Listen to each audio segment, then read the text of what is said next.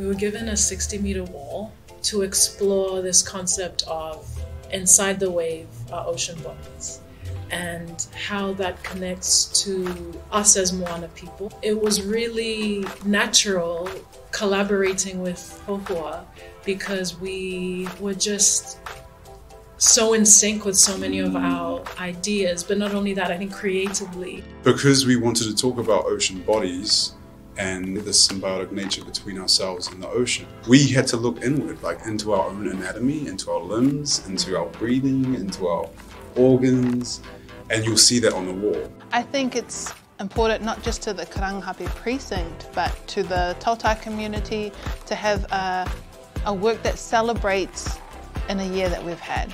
So it brings like colour, life, texture of the moana.